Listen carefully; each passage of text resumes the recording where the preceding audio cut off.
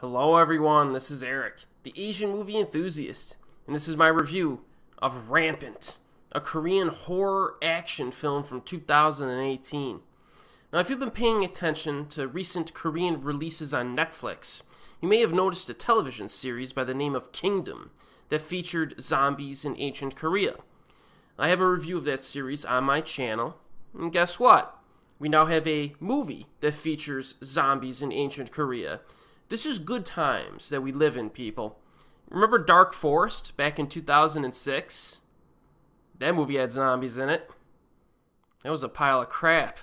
so, Korea has come a long way in the with their zombie films from recent years.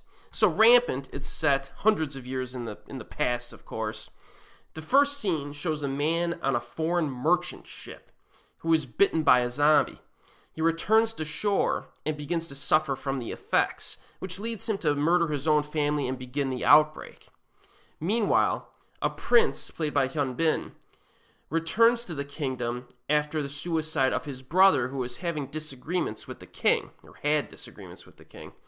Needless to say, some political strife exists within the palace, and even worse, the head of the military is planning to take the throne for himself.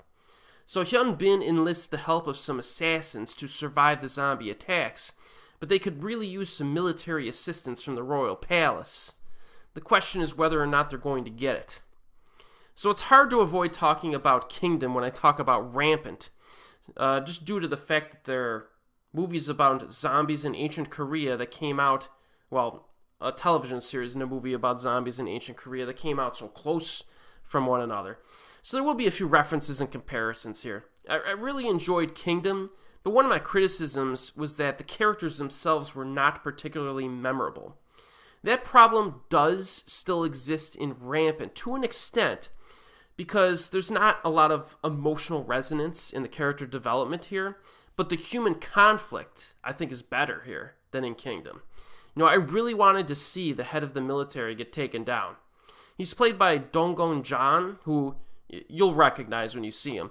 He turns out to be a solid and fun villain to watch here. He's lacking in depth of character, but the strategies he uses are deliciously ruthless. I could I could put it that way. There's a scene where he and the prince actually kind of get up in each other's faces at the in, near the midpoint of the film, and it effectively increases the animosity between the two, and the conflict rises from there. So I like that. Uh, I also like how things come together during the finale because the zombie threat is nicely combined with the human threat, and the tactics of this villain character are one reason why. I'll just leave it at that. In regard to the horror action sequences themselves, we get a good zombie attack within the opening half hour, I would say.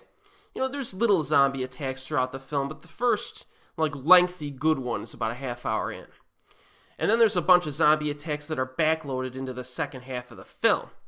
There are attacks like in open spaces, as well as attacks within buildings with tons of zombies crashing in from all, all angles, every direction. So it's fun watching the protagonists, you know, fend these zombies off with, you know, blades and arrows and stuff like that. The fighting does have some variety as well, especially near the end, uh, when Hyun Bin breaks out some cool maneuvers. The finale is lengthy and, and very satisfying, I think. Production values are solid. There's a nighttime dance performance that's, you know, rather short, but uh, I thought was pretty neat. It's kind of an added bonus. So uh, this film does look good. I'll, I'll give it that much. Pacing, a bit on the slow side during the opening half.